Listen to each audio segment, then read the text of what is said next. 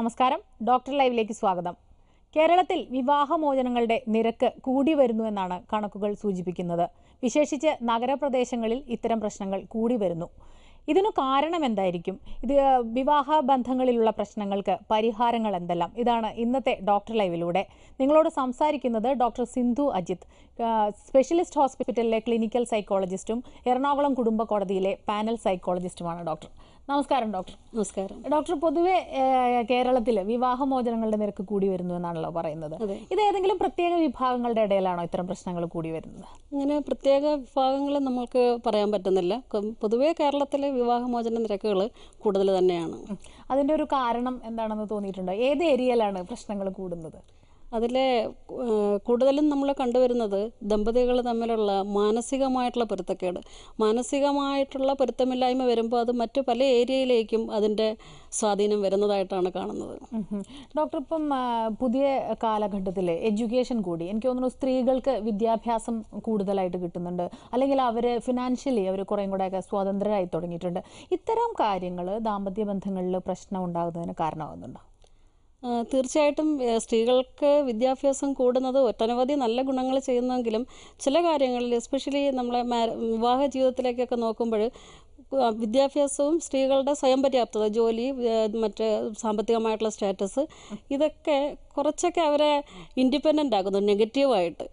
നല്ല പോസിറ്റീവായിട്ടുള്ള ഒരുപാട് മാറ്റങ്ങളുണ്ട് അവർക്ക് വിദ്യാഭ്യാസത്തിന്റെ ബേസിസിൽ. പക്ഷേ നെഗറ്റീവായിട്ട് ദമ്പതികളുമായിട്ടുള്ള പൊരുത്തക്കേടിൽ ഞാൻ ജോലിയുള്ള ആളാണ് എന്റെ ഞാൻ സമ്പത്തുള്ള ആളാണ് അല്ലെങ്കിൽ എനിക്ക് എന്റേതായിട്ടുള്ള ഫ്രീഡം ഉണ്ട് ഇത്തരത്തിലുള്ള പ്രവണതകൾ ചിലപ്പോൾ അഡ്ജസ്റ്റ്മെന്റിനെ അതിന്റെ വേഗതയെ കുറയ്ക്കുന്നുണ്ട്. ഡോക്ടർ മുൻകാലങ്ങളിലൊക്കെ തീരെ സഹിക്കാൻ വയ്യാതെ വരുമ്പോൾ തീരെ നിവൃത്തിയില്ലാതാകുമ്പോഴാണ് വിവാഹമോചനത്തെക്കുറിച്ചൊക്കെ ചിന്തിക്കുന്നത്. എന്നാൽ ഇന്ന് അത് മാറിയിട്ട് നിസ്സാര പ്രശ്നങ്ങൾക്ക് പോലും വിവാഹമോചനത്തിലേക്ക് എത്തിക്കുന്ന ഒരു പ്രവണത കാണുന്നുണ്ടോ? തീർച്ചയായിട്ടും ഉണ്ട്. കാരണം എന്ന് പറഞ്ഞു കഴിഞ്ഞാൽ ഇപ്പോഴത്തെ സൊസൈറ്റിയിൽ നമ്മൾ കാണുന്ന ഒരു പ്രധാനപ്പെട്ട ഒരു മന അത് ഏറെക്കുറെ മനഃശാസ്ത്രപരമായിട്ടുള്ള കാര്യമാണ്. അതെന്ന് പറഞ്ഞാൽ വ്യക്തികൾ വളരെ അവരുടെ സ്വഭാവം വളരെ ഇമ്പൾസീവാണ് ഇമ്പൾസീവ് എന്ന് പറഞ്ഞു കഴിഞ്ഞാൽ ഒരു ക്ഷമ കാണിക്കുന്നല്ലേ? പ്രത്യേകിച്ചും ഇപ്പോഴത്തെ ചെറുപ്പക്കാർ. ചിന്താശേഷി കുറച്ച് ചിന്തിക്കാൻ വളരെ കഴിവുള്ള ആളുകളാണെങ്കിൽ പോലും ചിന്താശേഷി കുറച്ച് വളരെ പെട്ടെന്ന് തീരുമാനങ്ങളിലേക്ക് എടുത്തു ചാടുകയാണ്. അപ്പോൾ ഇമ്പൾസീവ് ബിഹേവിയർ എടുത്തു ചാട്ടത്തിലുള്ളൊരു ബിഹേവിയർ നമ്മളിലുള്ളപ്പോൾ നമ്മളുടെ വാക്കുകളും നമ്മുടെ പ്രവൃത്തികളും എല്ലാം അങ്ങനെ തന്നെ നമ്മൾ ട്യൂൺ ചെയ്ത് കൊണ്ടുവരും. ചിന്തിക്കുക എന്നുള്ള ആസ്പെക്റ്റ് കുറയുന്നു. കൂടുതലും ഇമോഷണൽ ആസ്പെക്ട്സിന്റെ പുറകെ പോയി അതിലേക്ക് എടുത്തു ചാടി പെട്ടെന്ന് ഡിവോഴ്സ് എന്നൊക്കെ പറയുന്നത് ഇപ്പം ഏതൊരു ദമ്പതിയുടെയും നമ്മളവരെ ചെറുതായിട്ടൊരു ഇഷ്യൂ വരുമ്പോൾ തന്നെ ആളുകൾ പറഞ്ഞു തുടങ്ങുന്ന ഒരു കാര്യമാണ് ഞാൻ വിവാഹമോചനത്തിന് പോകും എന്ന് പറയുന്നത്. ഡിവോഴ്സ് എന്ന് പറയുന്നത് ഇപ്പം ആളുകൾ വളരെ ഫ്രീ ആയിട്ട് ഒരു ലാഘവത്വത്തോടെ ഉപയോഗിക്കുന്ന ഒരു കാര്യമാണ്. അപ്പോൾ നോക്കുമ്പോൾ തോന്നുന്നത് വിവാഹമോചനം ഒരു ലാഘവത്തോടെ എടുക്കുന്നു എന്ന് പറയുമ്പോൾ വിവാഹത്തെയും ആ രീതിയിലാണോ തീർച്ചയായിട്ടും. കാരണം വിവാഹത്തെ ലാഘവത്തോട് ലാഘവത്തോടെ എടുക്കുന്നു എന്ന് പറയാൻ കാരണം ഇപ്പോഴ് ഏറെക്കുറെ ആളുകൾ പഠിച്ച് എന്തെങ്കിലുമൊക്കെ പ്രൊഫഷണൽ കോഴ്സുകൾ അതിന്റെ അത് കഴിഞ്ഞിട്ട് ജോലി ഇതെല്ലാം കഴിഞ്ഞിട്ട് ആ ഒരു ലെവലിലാണ് അവർ വിവാഹ ജീവിതത്തിലേക്ക് ഇറങ്ങുന്നത്. ഒരു തയ്യാറെടുപ്പ് മാനസികമായിട്ടുള്ള ഒരു തയ്യാറെടുപ്പും ഈ ദമ്പതികൾ കാണിക്കുന്നില്ല. എസ്പെഷ്യലി എനിക്ക് തോന്നുന്നു പെൺകുട്ടികൾ കൂടുതലും. പെൺകുട്ടികളും ആൺകുട്ടികളും. എങ്കിലും പെൺകുട്ടികളൊക്കെ ആണെങ്കിൽ അവരെ വളരെ സോഫിസ്റ്റിക്കേറ്റഡ് ആയിട്ടുള്ള ഒരു ഇതിലാണ്. വളരെ വളരെ നല്ലൊരു അന്തരീക്ഷത്തിൽ അച്ഛനമ്മമാർ വളർത്തിക്കൊണ്ട് വന്നു.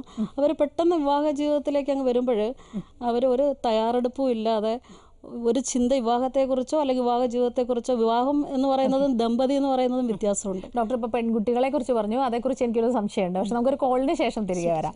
ഹലോ? ഹലോ? ഡോക്ടർ ലൈവാണ് സംസാരിച്ചോളൂ. മാഡം എന്റെ പേര് ഫാത്തിമ. ആ പറയൂ പറയൂ. എന്റെ കല്യാണം കഴിഞ്ഞിട്ട് ഇപ്പം പന്ത്രണ്ട് വർഷമായി. ആദ്യമൊക്കെ വെച്ചാൽ ഭർത്താവിനോട് കൊണ്ട് കുഴപ്പമൊന്നുമില്ല നല്ല സ്നേഹമായിരുന്നു എല്ലാം ആയിരുന്നു ഇപ്പോഴെന്ന് വെച്ചാൽ ഭയങ്കര ടോർച്ചർ ചെയ്യുന്ന വെച്ചാൽ എല്ലാ കാര്യത്തിലും ടോർച്ചർ ചെയ്യും. എന്താ ആ, ഏത് കാര്യത്തിലായാലും.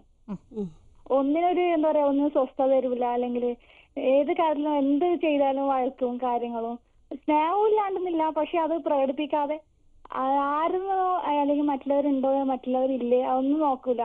എന്ത് പ്രശ്നമാക്കാം മറ്റുള്ളവരുടെ മുമ്പിൽ നിന്ന് അത്രയും ഒരു മാനസികമായിട്ട് വളരെയധികം പീഡിപ്പിക്കും കാരണം ഇപ്പോ ശരിക്കും പറഞ്ഞാൽ എനിക്ക് താല്പര്യമൊന്നുമില്ല അവരുടെ കഴിയണമെന്നുള്ളൊന്നും താല്പര്യമില്ല എന്തോ എന്താ പറയാ ഒത്തിരി ഞാൻ ഡോക്ടർസൊക്കെ ഞാൻ കാണിച്ചിട്ടുണ്ട്. അപ്പം ഇവരെയും കൊണ്ടുപോയി കൺസൾട്ടിങ്ങിനൊക്കെ പോവാൻ പറഞ്ഞ വിളിച്ചാ വരവും ചെയ്യില്ല അങ്ങനെ രണ്ടോ രണ്ട് ഡോക്ടർ അങ്ങനെ മാനസികമായിട്ട് വളരെ ഒരു ഭ്രാന്തിന്റെ രീതിയിലായപ്പം ഇവർ എന്റെ ഫാമിലി ഡോക്ടർ കൊണ്ടുപോയപ്പം കൺസൾട്ടിങ്ങിനും കൊണ്ടുവരണം എന്നിട്ട് ഒരു വട്ടം വന്നായിരുന്നു. അപ്പോഴും അത്രേ കഴിയുന്നത് എന്റെ പ്രശ്നങ്ങൾ എന്റെ മേലുള്ള പ്രശ്നങ്ങളെ പറയും അവൾ അങ്ങനെയല്ല അവൾ ഇങ്ങനെയല്ല ഇവൾ അങ്ങനെ. അവർ അവർക്ക് എന്ന് വെച്ചാൽ ഒരു മോഡേൺ ആയിട്ട് നടക്കണം. പക്ഷെ എനിക്കത് പറ്റത്തില്ല. എങ്ങനെയായാലും എനിക്ക് പറ്റത്തില്ല എന്ന് പറഞ്ഞാൽ അവർ പറയുന്ന ആ രീതിയിൽ എനിക്ക് നടക്കാൻ പറ്റില്ല.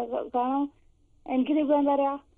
എന്റെ രണ്ട് കുട്ടികളെല്ലാം ചിന്തിക്കുമ്പോ അവർ ഇപ്പോഴും കുട്ടികളെ കാര്യം ശ്രദ്ധിക്കാനില്ല. ഞാൻ ഞാൻ എങ്ങനെയാണോ അതുപോലെ ആയിരിക്കണം.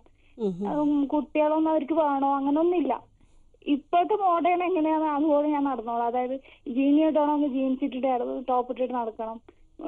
ഒരു എന്താ പറയാ ഒരു ഒരു വല്ലാത്ത ടോർച്ചർ എല്ലാ കാര്യത്തിലും ഇനി ബെഡ്റൂമിലെ കാര്യങ്ങളായാലും വളരെ ടോർച്ചർ ചെയ്ത കുട്ടികളുണ്ടെന്നോ അങ്ങനൊന്നും ഇല്ല. അവർക്ക് ഒരു ലൈസൻസ് ഇല്ലാത്തൊരു കളിയായിരുന്നു. ഡോക്ടർ ഇത്തരം പ്രശ്നങ്ങൾ എങ്ങനെയാണ് ഇത്തരം പ്രശ്നങ്ങൾ ഫാത്തിമ പറഞ്ഞ പ്രശ്നങ്ങൾ ഒറ്റപ്പെട്ട പ്രശ്നമല്ല. ഒരുപാട് ആളുകൾ ആളുകളെ ഇത്തരത്തിലുള്ള കേസുകളായിട്ട് വരുന്നുണ്ട്.